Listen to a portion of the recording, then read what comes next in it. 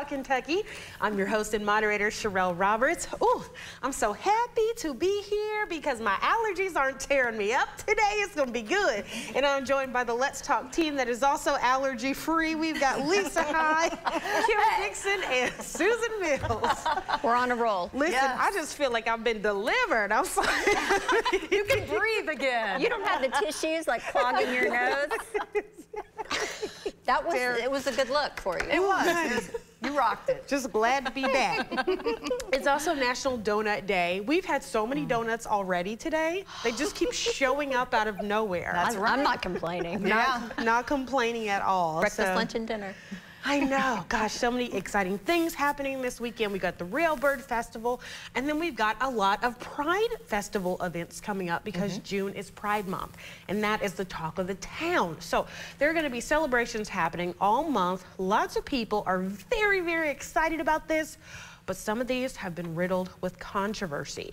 We've seen it all month. Businesses featuring Pride merchandise are being boycotted and attacked. Pride events are being threatened by extremists and protesters. Some events like drag shows in other states have been banned. That didn't happen here in Kentucky. The legislature was looking at it at this past legislative session and didn't do it. And so it's just a big mess all around. You know, this weekend is going to be, you know, folks are going to be happy. They're going to be filled with pride.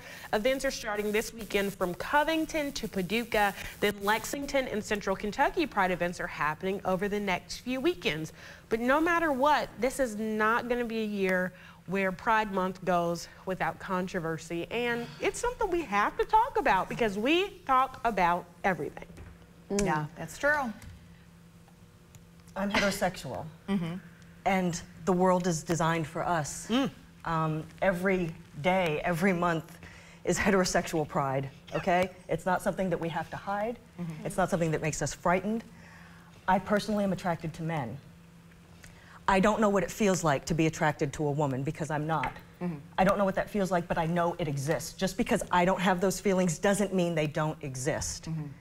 I need to mind my own business. I need to understand that other people have feelings that I don't have. Other people have experiences that I don't have. Mm -hmm. And it is not my right to judge anyone based on their natural feelings. Mm -hmm. I agree. Mm, I, I agree. just, and I, I see so much anger um, and sometimes violence that turns into violence on, on every side whether they're straight or gay or bisexual or trans there's so much violence happening and I just I I I want everyone to speak in love right yes. there's mm.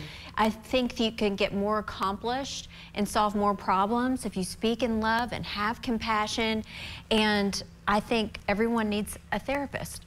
yeah, yes, everyone. Yes, it's everyone. not a bad thing. Everybody. It's not. It's not. And you know what? Um, you know, I feel like people sometimes look at these Pride Months or Black History Month as almost a personal attack against them.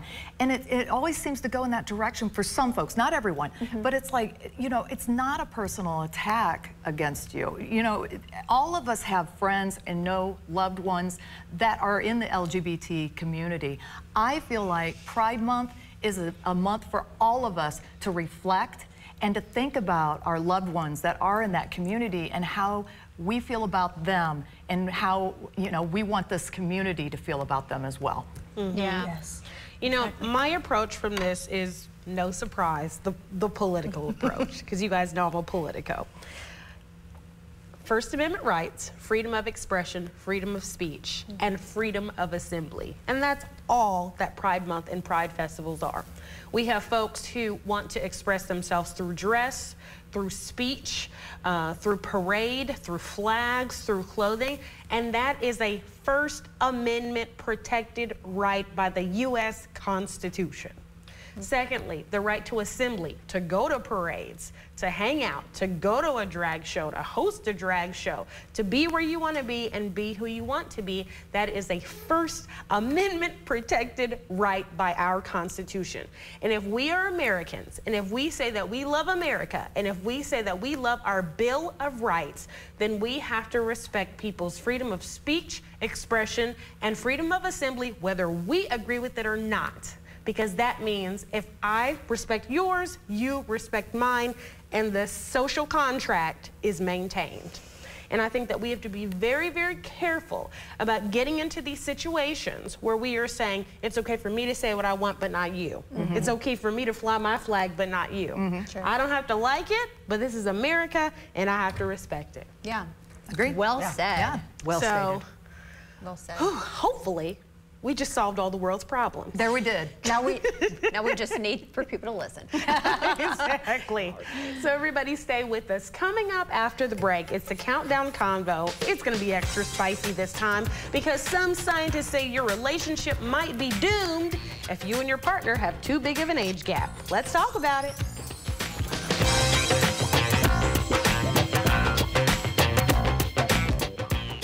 West Shore Homes Memorial Day sale is in full swing, and today I'm joined by BJ to learn more.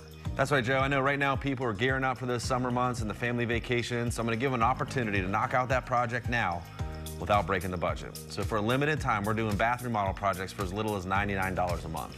And people are really loving this offer because it's easy to fit into just any budget. Wow, the chance to get a brand new West Shore Home shower bath for as low as $99 a month, that's pretty incredible. I mean, we're doing everything we can to make remodeling as affordable as possible. Let's take a look at a project.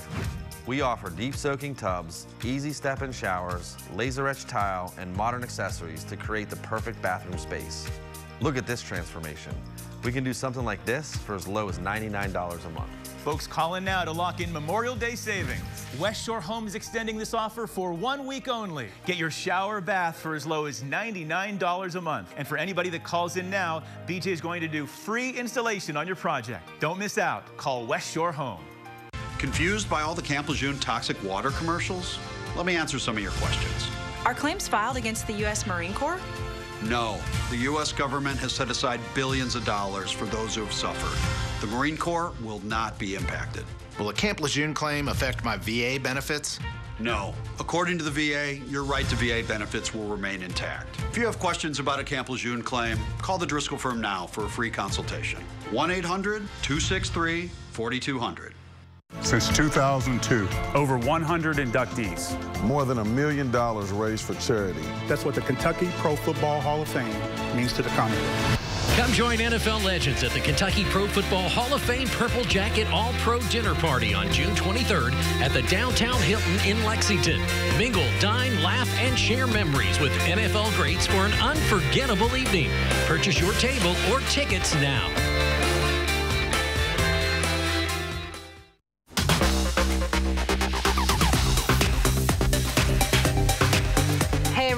Welcome back to Let's Talk Kentucky. I'm your host and moderator, Sherelle Roberts, back with the Let's Talk team. It's Susan Mills, Kim Dixon, and Lisa High. And over the break, we were just talking about our, the title of our show. It's Let's Talk Kentucky. It's not Let's Think Kentucky, because we say it out loud.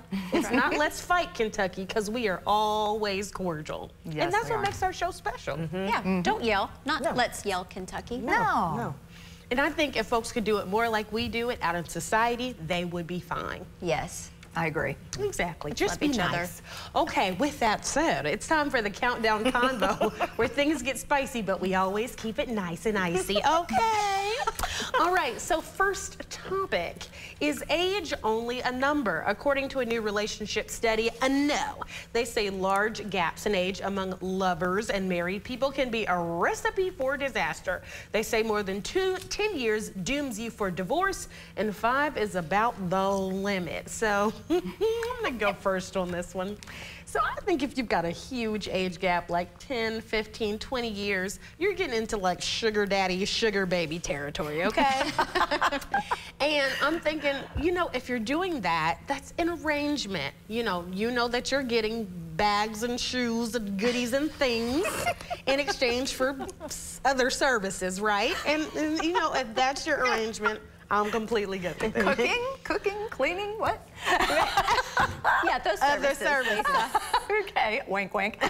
Um, you know, I look at this a little differently because my parents were 12 years apart and they were married 50 some years. And so, I mean, for me, I don't see 12 years as that big of a gap. They were very well balanced. I never even, it, I never even took issue with the age at all. So I, I kind of look at this as an, a, a bigger age gap like the 83 and 29 year old. Yeah, that's, I mean, come on.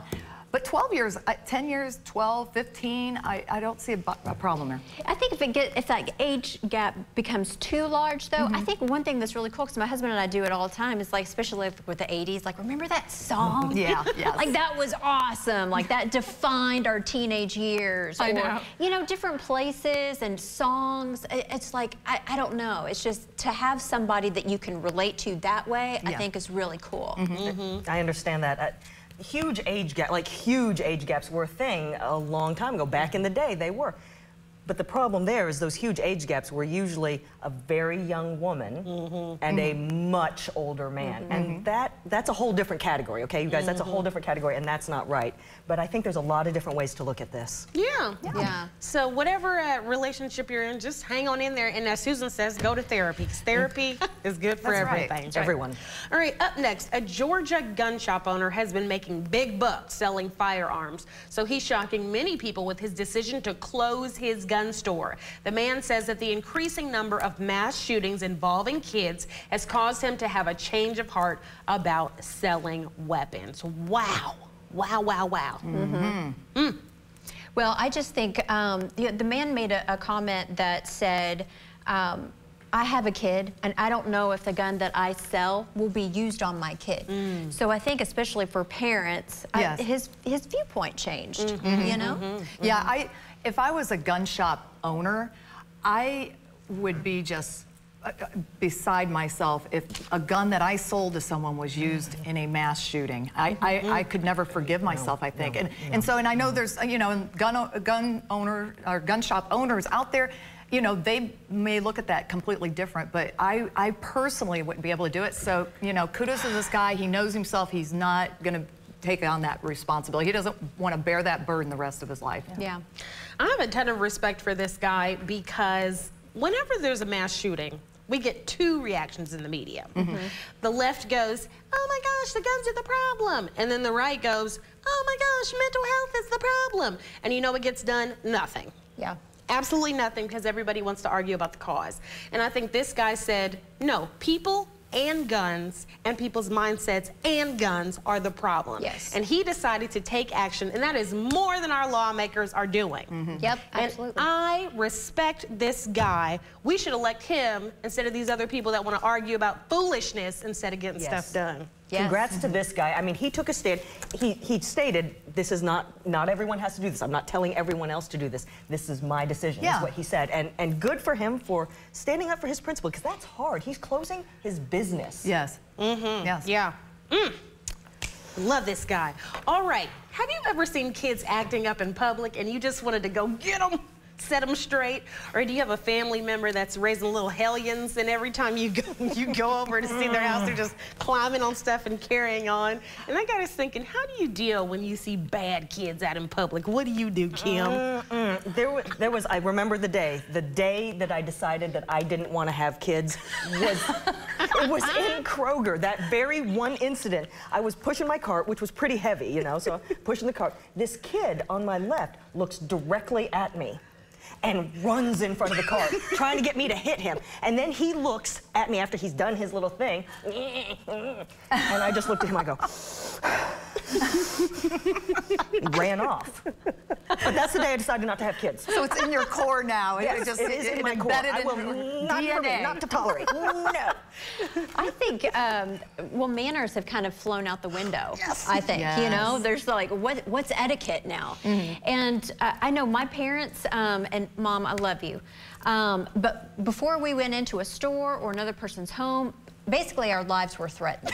if you do this, Yes. so help me, I mm-hmm. will, you know, the nostrils flared. Yeah. And, uh, and we knew to behave ourselves. Mm-hmm. Even before my son could, could speak. Right. I was teaching him sign language for please and thank you. And guess mm. what? He still says it. Yes, He yes. says it. As a mm-hmm. parent, you just have to stay on them. They're always gonna, they're gonna do crazy out in public all the time. But I've flared my nostrils at my kids several times, and it works. I mean, they fear God at that point.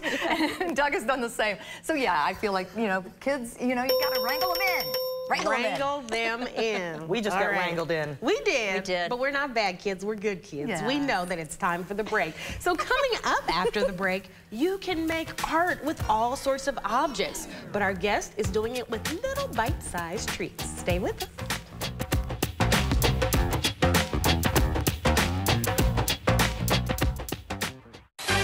Next ET, Donna Summer's daughter shares rare stories in home movie. When she was home, she was mommy. The new documentary about the queen of disco. Next ET. Tonight at 7 on ABC 36. I'm John Morgan. If you've been injured on the job, call Pound Law from your cell phone. Morgan and Morgan, Pound Law, that's all. You're invited to come be our guest this Sunday at Southland. For service times and campus locations, head over to our website at southland.church. At Rally's, I'm in the driver's seat. Give me that $5 meal deal with a Rally Burger or a mushroom Swiss burger with fries, chicken bites, and a drink for just five bucks. Whatever you order, own it at Rally's. Get your late night flavor fix. The number one family Lego fan event is coming to Lexington, Kentucky, with the most creations built by professional Lego artists all under one roof. Join thousands of fellow Lego fans at the Central Bank Center for the Brick Universe Lego Fan Convention on June 3rd and June 4th. Come meet professional Lego artists from around the country, explore incredible Lego exhibits, build your own Lego creation, get an autographed print and photo with your favorite Lego artists, find rare and new Lego sets and accessories, and so much more. Visit www.brickuniverseusa.com for tickets and more information. I am what hunger looks like in America. I was created by artificial intelligence from faces of the one in eight Americans who struggle with hunger.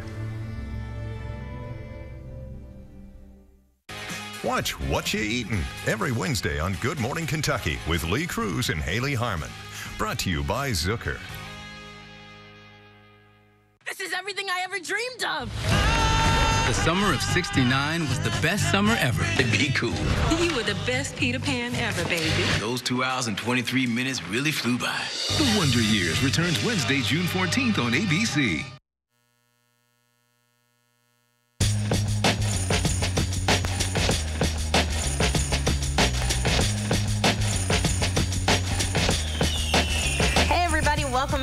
Let's Talk Kentucky. I'm Sherelle Roberts here with the Let's Talk team. It's Lisa High, Kim Dixon, and Susan Mills. And our special guest at the table is cookie artist Kyla Sissy Collins. Hey Kyla! Yay! Welcome to the table. We are so, glad to have you. Now we've been calling you the cookie lady, the cookie artist, but your jacket says cookie hustler. I love it. I answer to all of the above as well as Sissy. Oh, okay. So you literally, we are blown away. So we are just gonna get right to the cookies because you brought just an array of the most gorgeous artwork. Tell us all about what we're looking at here. You can just start over there uh, to your left. So over here, I actually just got back from a cookie conference, kind of like Comic-Con, but for cookiers. Oh! so that's one of the cookies that I made while I was there. It focused on Hungarian folk art. Uh-huh. And then the other cookies are actually for my brother's graduation party this evening. oh my gosh! So it's his favorite class, um, his football helmet, all of that kind of stuff, and then a little birthday set that I made a few extras Yeah, of. Kim, can you pick up one of the cookies because the details are so intricate. Um, really are. This is yeah, pick up one of and just hold it up to the kids so they can see this. So this one looks like. I don't even- explain it. Yeah, hold it up So, and, so folks can see it. um, Look at this. I actually took a class that specialized in Hungarian folk art while I was there because my grandpa is Hungarian. Um, so the details on those always are uh, honey-based gingerbread, which is different than American gingerbread. Um, and then there's always lots of lace detail, florals, um, and little um, like doily flowers, all kinds of things. it's beautiful. They can be bold colors or they can be all white, but they're amazing. It looks like you like sewed it. So tell us about this one. Um, this one here. So this and this you can hold this up if you want, because I think we'll get a better look at it. Um, and, and tell us how you kind of got into cookie decorating while you show Okay. it. Yeah. So this one was a collaboration when Beyonce released her last album. It's all of her album covers. The backs are actually also decorated. Um, so I got into cookies. I'm one of those people that is always like, I could probably do that myself. Eventually. and so one year at Christmas, um, my sister-in-law and I decided to try sugar cookies. We did zero research. We just were winging it. It was a disaster. That's taste- how you learn. Yes, they Exactly. tasted good, but they were not pretty, and that bothered me. Um, I started out making cakes for my family, and I figured it would kind of translate. Like, I can make a pretty cake, surely I can make a pretty cookie. It doesn't translate, it's not the same. so after many trips back to the store for our husbands that night to buy more powdered sugar after we messed something up, to buy more butter after we messed something up, um, I was determined to keep trying it out. Um, so I just kept practicing whenever I would have friends have baby showers, things like that. I'd be like, oh, I can bring a dessert. And it'd give me an excuse to try it. And eventually I got to the point where people started having friends ask, like, hey, where did you get those? Um, so I had my son in 2020 and decided I would stay home with him and try to see if I could make it a business. And it's kind of taken off from there. Look at that. So, I mean, this was not your original career. What did you start out life doing as an adult? So I actually used to work in oral surgery. Oh. Whoa. yeah. I see the connection. Wow. Yeah, for sure. Not at all related. Um, but I've always been a creative person. In college, I had a bow tie business, so I would sew custom bow ties because my best friend and I always wanted to match for formal. And instead of me trying to find a dress to match what he had, I would just make him a bow tie to match what I wanted to wear. Brilliant. and it kind of took off from there. And then I got into cakes because I wanted to make my dad a baseball cap um, cake for his birthday and then cookies. Oh my God. All right, now, shall we save the best for last? Show us. Oh, show So, us this last one. Let's I lift know it you up. just celebrated one month on air, and I thought a cookie cake. Look at would be the that. perfect thing to celebrate. Let's talk Kentucky. Woo! And it's got all of It's our got all of you. Awesome. That It's is so adorable. So cool. Oh my goodness. I love how you took the wrinkles off of mine. too. That's Yeah. so awesome. Love it.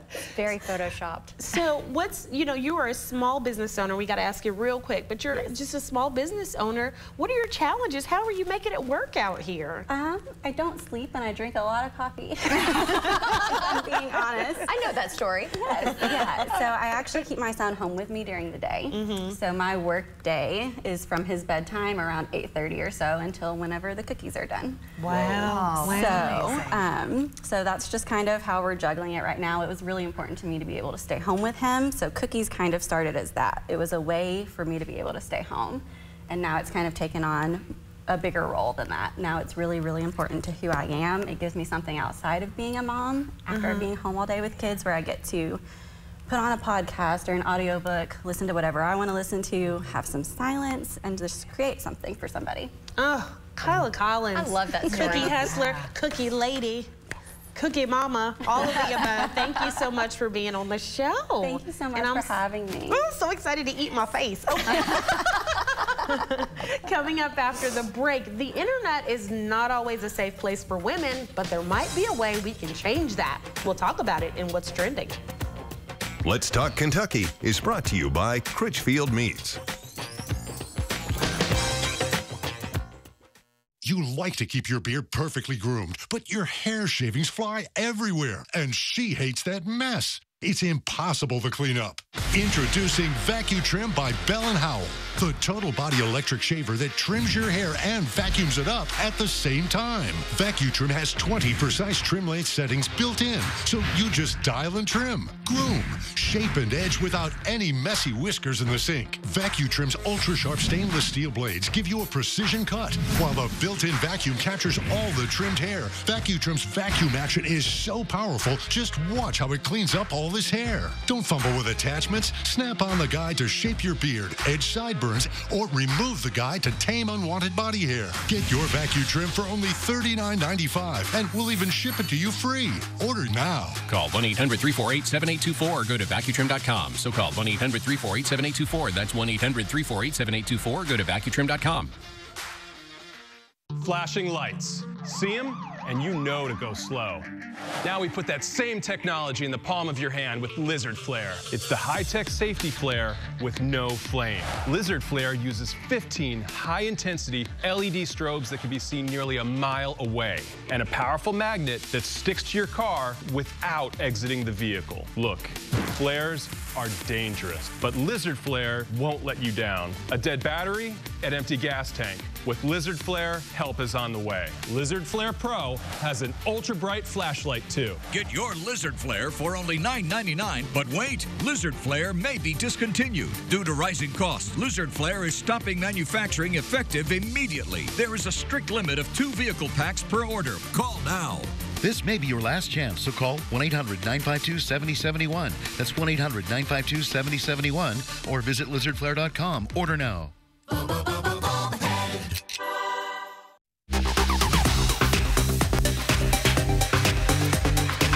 Welcome back to Let's Talk Kentucky. We are back with the Let's Talk team and Kyla Collins is still hanging out with us so we can talk about what's trending.